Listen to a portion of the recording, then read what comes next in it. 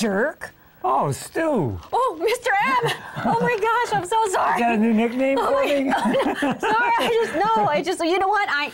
I, I just registered for this cable course, and it's my first cable course that I'm taking, and and I have no idea what cable means. I mean, it says cable, and I know it says you know, but what? It says to TBA to be announced. What is cable? Cable is great. It's a delivery method that comes out. You don't have to come to class.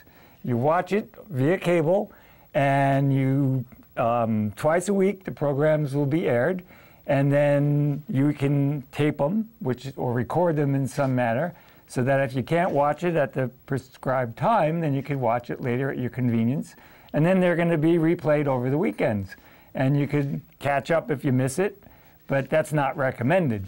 Now you don't have to come to class. Cool. But, I like yeah, that. I So if you work, it's really useful if you work. But if you um, you'll, you don't have to come to class. But there's some serious advantages and disadvantages to taking a course like So this. So tell me, I want to know about the advantages first. Tell me all the good things because you already said I don't have to come to class. Okay, so, so advantages you don't have to show up at nine Okay. o'clock every Monday and Wednesday and, Awesome, and I go get to- fight traffic and go to class. You Right, can and I get to sleep in. from the comfort of your home. Yeah, you could even put the the microphone, in, the uh, ear, earplugs in, and listen to it, and get it by osmosis while you sleep. hey, I like that already. All right, you can watch the shows at your convenience. If you record them, you can rewatch them, and you can avoid the syndrome of, "Gee, I understood that when you told me it in class, but when I got home, I forgot it." So now you can just put it back on. You can save the programs and review them before exams. So there's a lot of advantages. Okay, wait. I have to. I have to save the programs now. How, how do I save them? I mean, Well, you can record them by either TiVo or DVR, whatever means you have to record even them. VC, uh, Even VHS, if that's what. I, VCR. Yeah, if you still Okay, have one okay. of those, even eight track. Well, that's just audio. okay. and then there's certain disadvantages. And the disadvantages would be is that you need to be disciplined so that you need to motivate yourself to do the work, to watch the show, do the homework, participate, um, which is not necessarily a disadvantage. It can also be a, an advantage to give yourself some discipline. Okay. Um, if you if you do fall behind, you can you can fall so far behind that you may never catch up. So you can't procrastinate and say, "Well, I'll just watch it later. I don't have to watch it today. I could watch it tomorrow." And then tomorrow you'll say, "Well, I don't have to watch it today. I could watch it tomorrow." Or then you can say, "Well, I can catch up on Sunday." And now you're a week behind. So there's some really serious disadvantages. You just have to be disciplined. But I think the advantages far outweigh the disadvantages. Yeah, I think so too. Because I think oh, you know, I don't have to go to class. That's great. I mean, I can watch it from my own home. I just tape the show. So in case it airs at like maybe two or three in the morning, then I can is tape not it. unusual. Yeah, which is not unusual. Okay, so oh, you mean it might? Yeah, and just think that's another advantage. Suppose you're having trouble going to sleep and the show comes out in the morning. It'll help you go to sleep. Okay, that's great because I am an insomniac. Okay, so um, I get to I can tape it. I can watch it when I want to. Mm-hmm. And as long as I'm disciplined and I don't fall behind, then I can actually do this. That's right. Okay, so I want to know now. Okay, so I really want to do well this semester. I got to pass my courses because I slacked off before. And now I want to get back on track. So, success. How can I ensure my success? To be successful, I mean, you have to have initiative, motivation, you have to set goals, and maybe your goals should be set not too far above what your abilities are, but they should always be set to push your abilities, to challenge yourself, to improve and do a little bit more. So I gotta stretch myself. You got it. want- So if I shoot for that A, reach for that A, I just might fall among the yeah, B's or the and A's. you might even become six foot one day. You never know. Are you saying I'm? Are you saying I'm short? no, I'm just saying you're not as tall as you could be. Okay, I'm gonna try. A little taller here. Okay, so I like the idea of you telling me that I can record the shows. Now, so I got this great plan. Tell me if you like this plan. Okay, my plan is I'm not gonna watch the shows for the entire week because I just want to do what I want to do. And then on the weekends, I'm just gonna watch the, the rebroadcasts on the weekends. Five of them, or two of them, whichever. I'm gonna watch them on the weekends. So what's wrong with that plan? Let's see. First off, is that usually it rains on the weekends and you'll spoil your whole, your whole weekend. Well, I guess you won't spoil your weekend because you can use the idea that it's raining, so I might as well be home studying. Yeah. But So? what if something comes up and something fun is you have something fun to do on the weekend and you go, oh, I can study tomorrow or I can study Sunday night. Oh, like going to the beach. So, so what else is bad about that idea? Now you're a week behind. So you've gone through at least two programs and you've done no homework, so you're playing catch up a week behind. So you're you're going from the why do it now when I can do it later approach instead of the why do it later when I can do it now approach. So are you saying I'm, I'm, I'm a procrastinator? Yeah, sounds like it. But that's what you want to avoid. I mean, you want to avoid procrastination because if you fall into that trap, what happens if you're in the sixth week and you're going, oh, this is going so easy, I'm going to put this off until the weekend. And now that week you get behind, and that uh, only compi- compounds itself in the next week, you get behind even more, and now you're two weeks behind, and now you're running the risk of failing the course. So you mean I happens, can't just do those like weekend marathons? I mean, just let them build up, and at the end of the term, right before the exams or in the quizzes, I'm just gonna watch them all. I can't do that. Well, I've had a number of students try that, and the number successful in it is the goose egg, zero. Zero. Yep. I'm not gonna get by like that. I mean, that. unless you already know the material, you're not going to succeed that way. You have homework to do, you'll have homework to catch up on. There's not enough time in the weekend to catch up on two hours of shows and about six hours of homework, and then understand it all and ask questions. Well, you are the math professor, so I do trust you on that one. So, um, let me ask you about motivation. Like, how much how much motivation do I have to have to succeed in the course? Do I have to like, I mean, really want to go for it, or can I just like, oh, you know? Well, again, we get back to the approach where if you're going to take a course, you're signing up for a course for a couple of different reasons. One is either it's elective that you want to sign up for, or it might be something that's required. It's compulsory and you need to take that for your degree. But you really don't like the subject, like math, right? I hate math. So if you go to, to the course and you say, I just want to get through this course with a C, maybe you'll get through it and you won't remember anything from the course and it'll be sort of useful. But if you say, I'm going to make the most out of this course, I gotta, I'm, I'm going to have to do it, I might as well make the most of it and then get what little enjoyment out of it I can. Who knows? Maybe you might even get to like it at some point in time. I know back a million years ago, before the, the age of the dinosaur, when I was a student. When you were around, huh?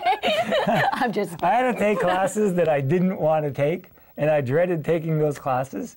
And some of those classes turned out to be really fun and useful. And some of those things I still remember. I remember once I had to take an art class, and I hated the thought of taking an art class. Who cares about art?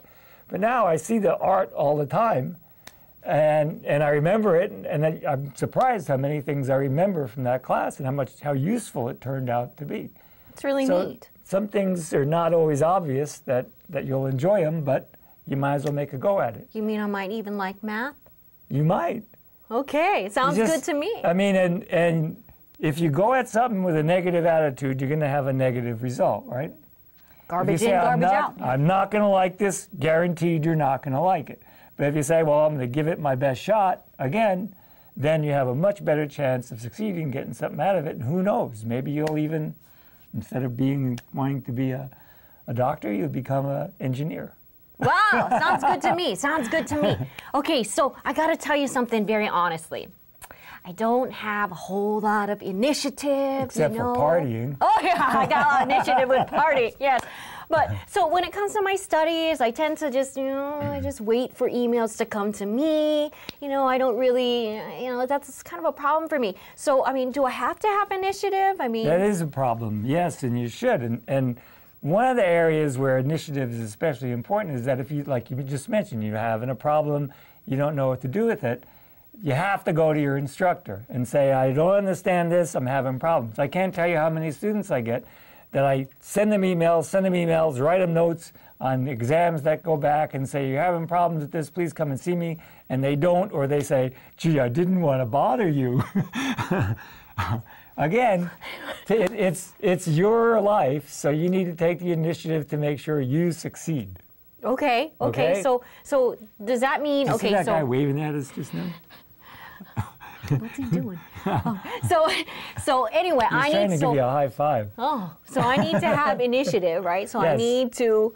Okay, so that means I need to contact my professor when I'm having trouble, when there's a problem, or if my professor tells me that I need to see him or see her, then I should con- keep in contact. Absolutely. Okay, and it's my responsibility to check.